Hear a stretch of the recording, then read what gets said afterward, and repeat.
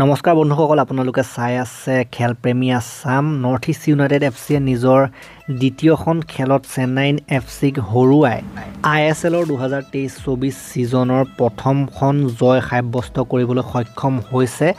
এইখন খেলৰ কথা ক'বলৈ গ'লে এনি ইউ এফ চিয়ে তিনি শূন্যত দমনমূলকভাৱে পৰাস্ত কৰিলে প্ৰতিদ্বন্দ্বী চেন্নাইন এফ চিক নিজৰ হোম গ্ৰাউণ্ডত নৰ্থ ইষ্ট ইউনাইটেড এফ চিৰ হোম গ্ৰাউণ্ড আৰু খেলখনৰ কথা ক'বলৈ গ'লে যথেষ্ট ভাল এটা লাইন আপ খেলোৱা দেখিবলৈ পোৱা গৈছিলে শক্তিশালী দেখা গৈছিলে এনি ইউ এফ চিৰ লাইন আপটো আৰু আমি যদি ক'বলৈ যাওঁ প্ৰথমটো গ'ল পাৰ্থিৱ গগৈয়ে দিয়া। পাৰ্থিৱ গগৈ যিয়ে নেকি অসমৰ লগতে ভাৰতৰো এটা উজ্জ্বল নক্ষত্ৰ হ'বলৈ গৈ আছে ফুটবলৰ ক্ষেত্ৰত।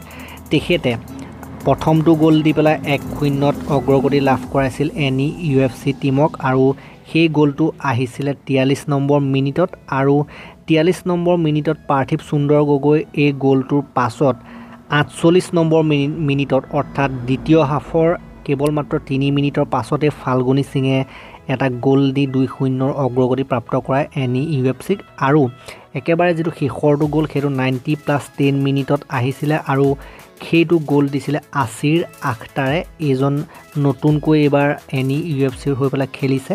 গতিকে যথেষ্ট ভাল কথা যে তেনেকুৱা এজন প্লেয়াৰো এনি ইউ এফ চিৰ জিকাত মুখ্য অৱদান দিবলৈ সক্ষম হৈছে। এই জয়ৰ পাছত পইণ্টছ টেবুলত এনি ইউ এফ চি গুচি গৈছে চতুৰ্থ স্থানত। আমি আশা কৰিম যে তেখেতসকলৰ ভাল প্ৰদৰ্শন অব্যাহত থাকক আৰু এনেকৈ তেওঁলোকে টপ কৰি থাকক পইণ্টছ টেবুলত নৰ্থ ইষ্টৰ নেক্সট খেলখনৰ কথা ক'বলৈ গ'লে পাঞ্জাৱ এফ চিৰ লগত আছে ছয় অক্টোবৰ তাৰিখে গতিকে সেইখন ভাল খেলেই হ'ব বুলি আমি আশা কৰিব পাৰোঁ। ছয় অক্টোবৰ তাৰিখে নিশা আঠ বজাত। গতিকে এই ভিডিঅ'টোত ইমানেই আছিল ভাল লাগিলে যদি লাইক কৰিব ফুটবল লাভাৰসকলে এন ইউ এফ চি লাভাৰসকললৈ শ্বেয়াৰ কৰি দিব আৰু চেনেলটোলৈ নতুনকৈ আহিছে যদি ছাবস্ক্ৰাইব কৰি দিবলৈ নাপাহৰিব ধন্যবাদ।